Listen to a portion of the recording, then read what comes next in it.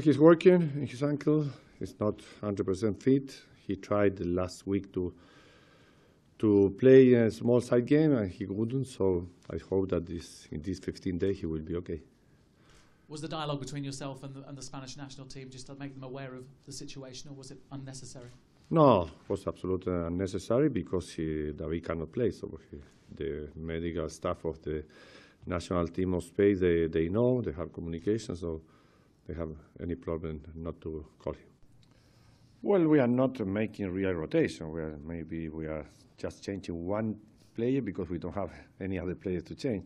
We have some uh, rotation defender also against Crystal Palace, and they play very well. It's, it's Mangala and, and Martin de, Micheli, Demichelis. That's why I just said that I hope that now we can do rotation because we need to play now a lot of, of, uh, of, of difficult games.